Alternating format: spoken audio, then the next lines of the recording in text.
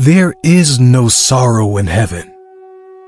Revelation 4 1 through 11. After these things I looked, and behold, a door standing open in heaven. And the first voice which I heard was like a trumpet speaking with me, saying, Come up here, and I will show you things which must take place after this. Immediately I was in the Spirit, and behold, a throne set in heaven, and one sat on the throne. And he who sat there was like a jasper and a sardius stone in appearance, and there was a rainbow around the throne, in an appearance like an emerald. Around the throne were 24 thrones, and on the thrones I saw 24 elders sitting, clothed in white robes, and they had crowns of gold on their heads. And from the throne proceeded lightnings, thunderings, and voices. Seven lamps of fire were burning before the throne, which are the seven spirits of God. Before the throne there was a sea of glass like crystal, and in the midst of the throne, and around the throne, were four living creatures full of eyes in front and in back. The first living creature was like a lion, the second living creature like a calf.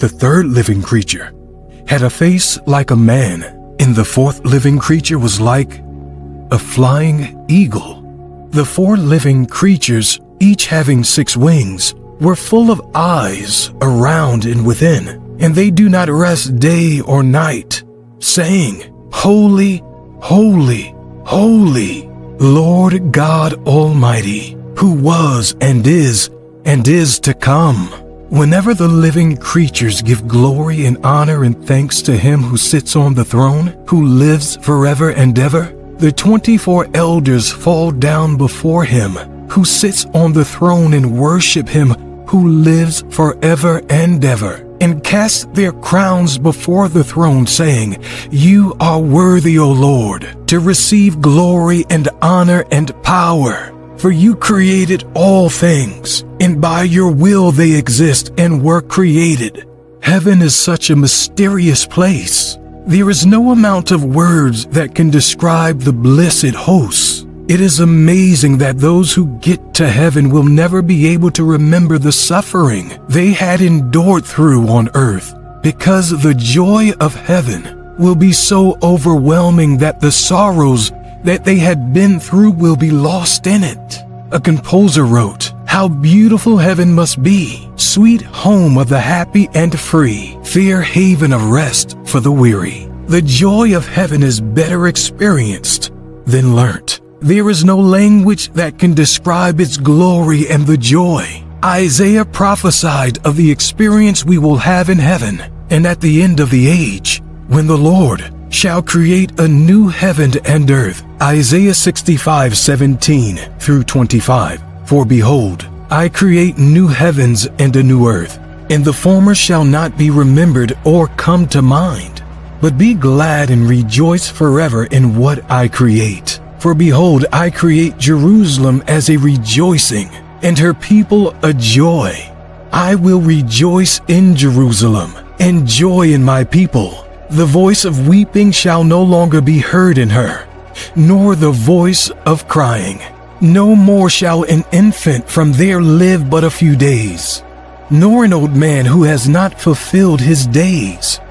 For the child shall die one hundred years old, but the sinner, being one hundred years old, shall be accursed. They shall build houses and inhabit them. They shall plant vineyards and eat their fruit. They shall not build and another inhabit. They shall not plant and another eat. For as the days of a tree, so shall be the days of my people, and my elect shall long enjoy the work of their hands. They shall not labor in vain, nor bring forth children for trouble, for they shall be the descendants of the blessed of the Lord and their offspring with them.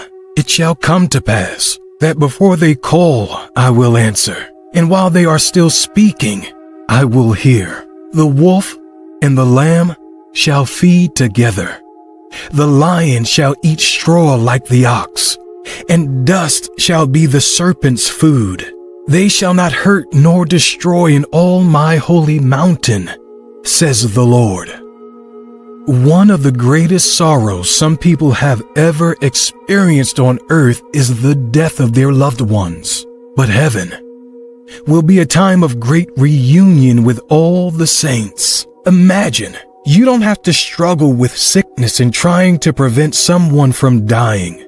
Brethren, imagine a world without a hospital because everyone will be living in perfect health and there will not be a single day of pain.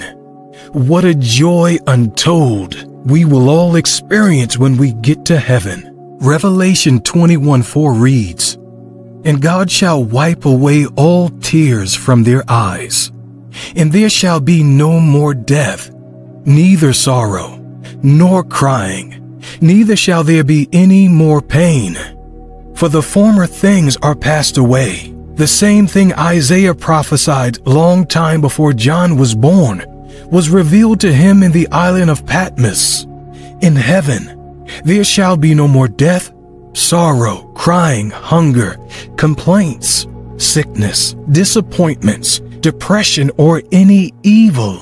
All these evils do not have the ability to cross over to creep into heaven. Heaven is a realm that is not compatible with evil. No matter how little it may appear, all the former things, the bad experiences that characterized our pilgrimage on earth will all pass away, never to be remembered or experienced. Revelation 22 3 through 5 says, And there shall be no more curse, but the throne of God and of the Lamb shall be in it, and his servant shall serve him. They shall see his face and his name shall be on their foreheads. There shall be no night there. They need no lamp nor light of the sun, for the Lord God gives them light. And they shall reign forever and ever. All the curses working against people and against the earth will be disannulled when we get to heaven because curses cannot exist where the throne of God and the presence of Christ is resident. More so, there will be no night in heaven. Night symbolizes darkness, fear, and anxiety. Nothing will terrify us in heaven because we will never walk in darkness. There will never be day nor night because the glory of the Lord will give light to it. There is no earthly technology that can sustain the continuity of heavenly glory. The power and the glory of the Lord will be responsible for all things. Irrespective of the storms that are raging against you here, and regardless of the number of opposition you have in this side of life, your consolation should be that this world is not your home, and that heaven will surely pay for all the sufferings that we have endured thus far. There is nothing we suffer on earth in order to lay hold on eternal bliss with God that is regrettable. The joy of heaven will overshadow the sorrows, sufferings, pains, and afflictions we have been through on this earth.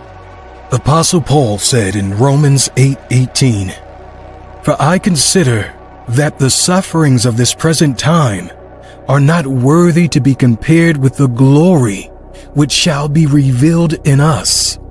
There is nothing that should ever make us to forfeit our race to heaven, because the glory of heaven outweighs the sorrows of the world. If heaven is not better than what we have here, there wouldn't have been any reason to strive to get in there. But we have a great consolation and assurance that heaven is full of joy. More so, the Holy Spirit who is the seal of our salvation, continually bears witness in our hearts that heaven is a joyful place. And this he proves to us by stirring up the joy of salvation in our hearts. Paul said nothing would ever separate him from the love of Christ. Heaven is indeed a beautiful place, and there is no sacrifice that is too great to be offered in order to get there. As a matter of fact, when we get to heaven, we will admit that the price we paid to get there is nothing compared to the prize we will be rewarded with. Heaven is only for those who are saved, and would not compromise their faith. Luke 9:62 says that no one who having put his hand to the plow and looking back is fit for the kingdom of God. If you are not saved yet, you need to give your life to Christ first before you can be enrolled as a candidate of heaven. Meanwhile, believers who are backsliding must amend their ways too, so that they will not end up laboring in vain. We must not allow the sorrows of this world to rob us of the unexplainable joy of heaven. 1 Corinthians 2 9. But as it is written, Eye has not seen, nor ear heard, nor have entered into the heart of man the things which God has prepared for those who love him.